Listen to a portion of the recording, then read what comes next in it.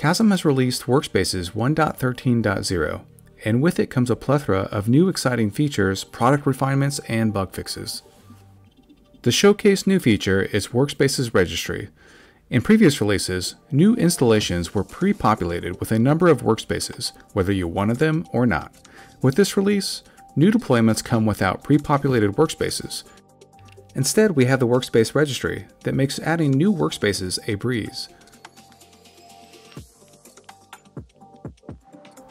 Once the workspace is added, you can edit it to meet your own needs. Once your deployment has pulled down the image, you'll be able to launch an instance of the workspace. You can add additional third-party registries here. Kasm worked with the Linux Server open source project to become the first third-party workspace registry. It's worth noting that an employee of Kasm is also a contributor to that project.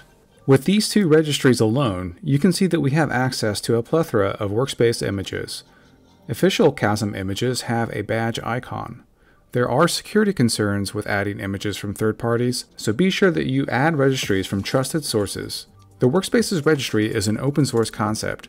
You can stand up your own registry by merely forking our open source project. We will have a video that covers that topic in more depth. The next big feature is the ability to create a new workspace and associated Docker image from a running session.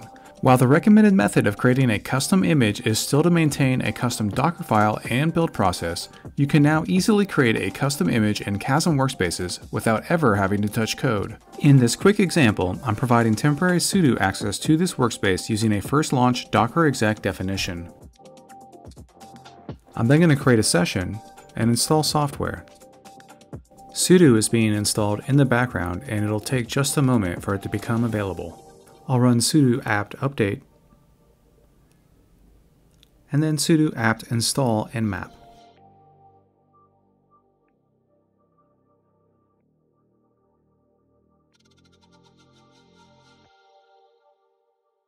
I will remove the sudo package and configuration so that the image we create from this session does not contain them.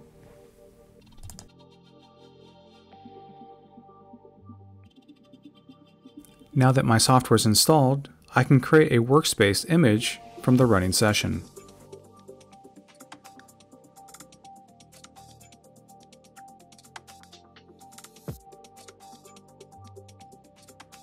You can specify your own Docker image name, add additional Dockerfile commands, and specify a Docker registry to push the image to.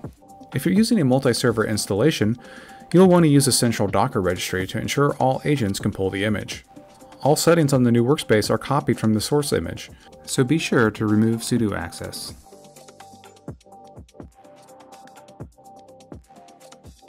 Back on the user dashboard, you can see I have access to this new image. Let's launch an instance and test that the software is installed.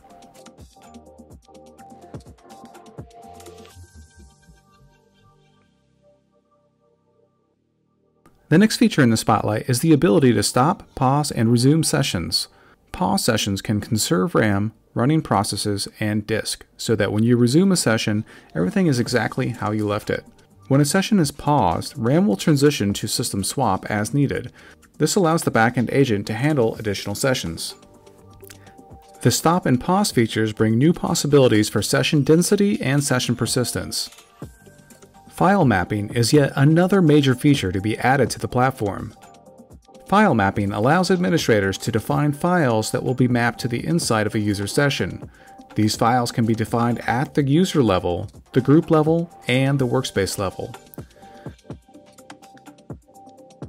Files can be text and edited directly in the Kasm admin UI, or they can be arbitrary files that are uploaded. In this quick example, I'm creating a Chrome managed policy that will define bookmarks in Chrome. You can see that the managed policy defines bookmarks for Google, YouTube, and a few others. With the file mapping saved, I'll now create an instance of the Chrome workspace.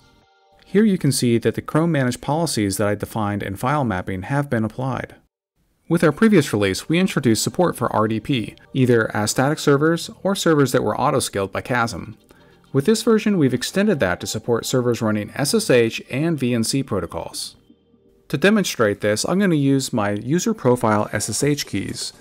I'm going to download my public SSH key from Kasm. This public key needs to be placed on the target system so that you can use it for authentication from Kasm. Next, I'll create a static server. I'll provide an IP address, select SSH as the connection type, port 22, and provide a username. I'll skip the password and instead use SSH key authentication. Next, decide how many Kasm sessions you want to allow to this single server. Next, I'll expose the server to users by creating a workspace of type server.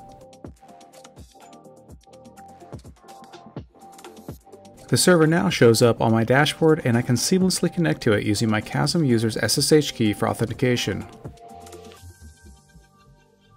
Mobile support gets a boost with the addition of Progressive Web Application Support.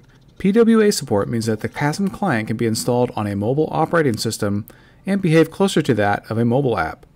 This is a great step towards our goal of users being able to access Kasm from anywhere, from any device, and work in comfort.